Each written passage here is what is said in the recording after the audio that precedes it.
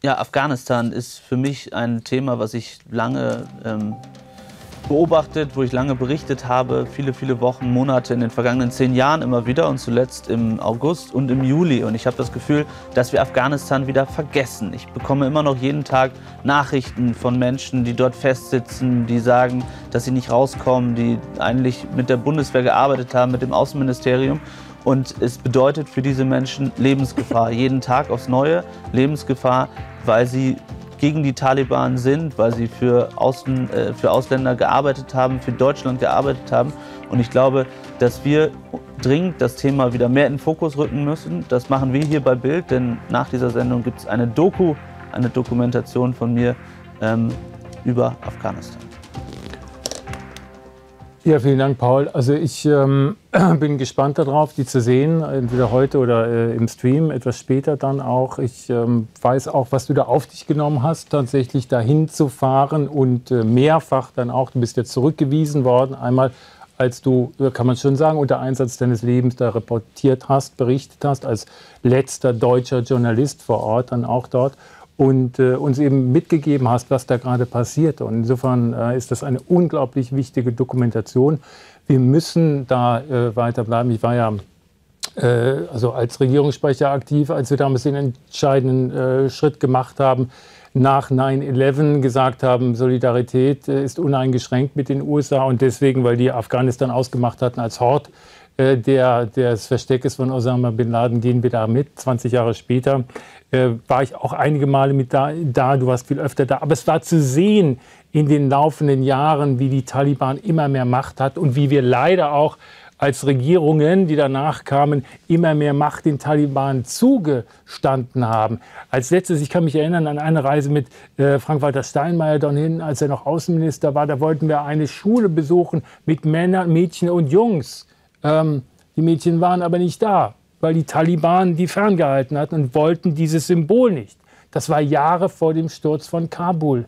Da war schon erkennbar, welche Macht die ausüben, dass die solche Symbole eben unterwandern. Und eigentlich hätte man da spätestens sagen müssen, keine Verhandlungen mehr. Das war schwer, weil die USA natürlich parallel verhandelt haben. Aber äh, das ist eine große Schuld, die wir da auf uns geladen haben. Und wir müssen da etwas tun, um den Menschen zu helfen. Und es sagt auch was über unsere Aufmerksamkeitsökonomie, ja. muss man sagen. Ja, also wir haben ein paar Wochen äh, hingeschaut und immer berichtet, live sozusagen, was dort passiert ist. Und jetzt muss man auch selbstkritisch sagen, auch bei uns sozusagen ist das Thema natürlich wieder nach hinten gerückt. Äh, wir, wir bei Viertel nach acht nicht. Wir haben gestern Abend erst über Afghanistan gesprochen. Da war zum Beispiel Bijan Sarai hier, der schon ja. vor zwei Jahren hervorgesagt hat. Also bei uns nicht. Ja, aber, ja. Na, ich meine sozusagen insgesamt. Natürlich, ja. die, die Leute sind abgestumpft. Die haben so viele Konflikte auf der ganzen Welt, dass sie irgendwie gar nicht mehr nachkommen am Ende. Aber ich glaube, es ist wahnsinnig wichtig, dass weiter berichtet wird. Aber deshalb glaube, ist es, glaube ich, ganz gut, dass ähm, heute auch im Rahmen der Sondierungsgespräche auf Bundesebene ähm, die die Verabredung getroffen wurde, darüber nachzudenken, entweder eine Enquete-Kommission einzusetzen, die die 20 Jahre insgesamt betrachtet, und auf der anderen Seite möglicherweise sogar einen Untersuchungsausschuss, ja. der sich mit der Frage des Truppenabzugs noch mal auseinandersetzt. Also um das aufzuarbeiten, ähm, um es auch zu erinnern, wach zu halten, äh, könnten das ja zwei Instrumentarien sein. Ich glaube, Bela, also, um, das, um das zu ergänzen, ähm, neben der Bereitschaft, mit den Taliban zu reden, immer weiter Kontakte zu halten, gab es natürlich einen zweiten, für mich eigentlich noch größeren Fehler, dass der Westen, ohne genau hinzuschauen, Milliarden in ein korruptes Regime in Kabul gesteckt hat, nicht erkennend, dass natürlich kein Soldat sein Leben für solche Leute einsetzt, wie man dann gesehen ist, sind sofort davongelaufen. Und das ist ja nicht in Afghanistan zum ersten Mal passiert. Ich muss, lieber Paul, da noch anmerken, wir reden hier eigentlich selten über Journalismus. Aber wenn du schon mal hier sitzt, wir beobachten ja seit Jahren, wie du an diesen Brennpunkten und gerade dort unterwegs bist. Und jetzt wieder. Und zwar im direkten Gespräch mit Taliban-Führern. Und das ist erstens eine wahnsinnig wichtige Informationsquelle, weil man die sonst nicht mehr hat. Es gibt ganz wenige Journalisten, die das tun. Und du warst, glaube ich, jetzt wieder mal der Erste und Einzige, der es getan hat. Nee, nicht der Einzige. Naja, da, der Christoph Reuter zum Beispiel. Wollte ich gerade sagen. Viele, viele Kollegen. Also ich will viele, nicht, nicht, zu viel, nicht zu viel Lob hier. Viele nicht, aber ein paar sind es. Ja. Aber jedenfalls, du bist immer vorne dran. Und das ist eine ganz außerordentliche Leistung. Es gibt nicht nur Versagen im Journalismus, es gibt auch sowas, was mutig ist und wichtig ist. Und äh, wenn ich dir mal als Kollege sage, genau. dafür danke ich dir. Ja. Dankeschön. Was, was, mir sozusagen in dem, in dem ganzen Thema ähm, wahnsinnig unter Nägeln brennt, ist die Frage sozusagen, wie gehen wir jetzt weiter mit dem Land um? Ja, also ja. da droht eine Hungersnot am Ende, es droht sozusagen ein wahnsinniger wirtschaftlicher Kollaps. Also die Menschen haben nicht, haben keine Nahrungsmittel mehr dort. Ja? Mhm. Das ist sozusagen die Frage, wie gehen wir dann damit um? Also was machen wir mit den diplomatischen Beziehungen? Sollen wir da wieder eine Botschaft haben oder nicht? Ich glaube schon. Ja? Am Ende müssen wir uns ja mit den Realitäten ähm, äh, auseinandersetzen und müssen da wieder eine Botschaft eröffnen. Und die sagen. Taliban auch, die sind nämlich als erstes, als sie Kabul erobert hatten, in die Zentralbank gegangen, in den Keller und haben gesagt, wo sind denn jetzt unsere Goldvorräte? Bis sie ihnen gesagt haben, ja, die liegen in New York.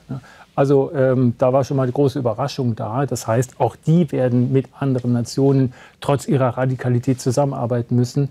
Und wir müssen da tatsächlich irgendeinen Weg finden. Es ist schwer, weil die nicht ablassen werden von ihrem Unrechtsregime und ihre Radikalität auch weiter durchsetzen werden. Ist das so? Das wollte ich jetzt als Frage formulieren. Du bist jetzt seit dem Umsturz in Afghanistan mehrfach dort gewesen. Wir, ich, wir erinnern uns, wir haben auch mal darüber geredet, am Anfang gab es Frauendemonstrationen ja. in Kabul, ganz mutige Frauen, die auf ihren Rechten bestanden haben. Die sind dann geknüppelt worden und so weiter. Was ist heute der Zustand? Oh ja, ähm. Sitzen da, sind die alle in Haft? Sind in, in, großer Zahl Menschen hingerichtet worden, von denen wir nichts wissen? Die, die also sich, sich gesucht haben und dann hingerichtet haben? Und wie ist die Haltung dieser Menschen? Sind die nach wie vor entschlossen, das Land zu verlassen? Oder sagen die, wir werden hierbleiben und werden versuchen, was an den Zuständen zu verändern? Also, was man sozusagen sagen kann, es gab keine Massenhinrichtungen, von denen man sprechen kann, aber es gibt ganz, ganz viele Vermisste. Ich alleine kenne vier Leute, die ähm, ich dort in Afghanistan in den vergangenen Jahren kennengelernt habe, die vermisst sind. Man weiß nicht, wo sie sind. Man ähm, erlebt, dass viele Dinge außerhalb Kabuls passieren. Da ist die äh, Medienöffentlichkeit ist noch in Kabul, sozusagen, dass in den Provinzen schlimme Dinge passieren, dass dort Menschen hingerichtet werden, dass sie verschleppt werden und so weiter. Das ist ähm, tatsächlich an der Tagesordnung. Was die Menschen angeht, insgesamt, viele verstecken sich noch und sagen, sie sind hier in ihrem Versteck irgendwo in Kabul, haben sich eine Wohnung gesucht oder bei Freunden untergekommen, sie wollen immer noch weg. Also sie versuchen, ich kriege täglich Nachrichten, die sagen, wir müssen auf diese Liste in der Bundeswehr oder beim Außenministerium, um rauszukommen. Ja? Das ist, glaube ich, ein ganz großes Problem. Was die Taliban angeht, haben die sehr viele inner Taliban-Probleme. Ja, die kämpfen miteinander die ganze Zeit. Es gibt nicht eine wirkliche Hierarchie, keine Machtstruktur. Und das macht es wahnsinnig kompliziert, um mit denen überhaupt zu verhandeln. Wir haben am Anfang den Islamischen Staat erlebt, mit, äh, mit blutigen Aktionen. Ist der jetzt noch zu sehen? Oder ist der, das, ist sehr, der ja. ist sehr zu sehen, ja. Also das ist eigentlich das, die große Gefahr, dass sozusagen ISIS gegen die Taliban dort eine Struktur aufbaut und am Ende für die Leute, die sagen, die Taliban sind ihnen nicht mehr radikal genug, so absurd das klingen mag, dass sie dann zu ISIS wechseln und am Ende ISIS äh, ganz, ganz groß wird. Wie sieht denn die Handlungsempfehlung aus? Die Handlungsempfehlung Paul Ronsheimer?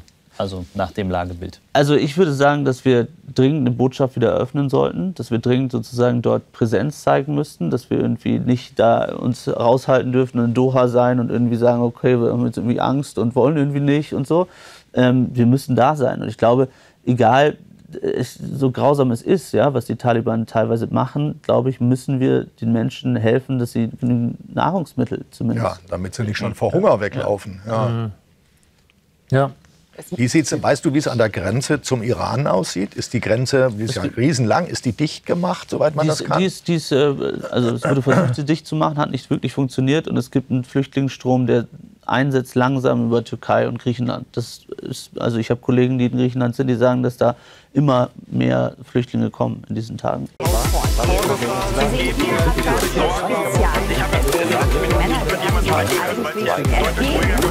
Männer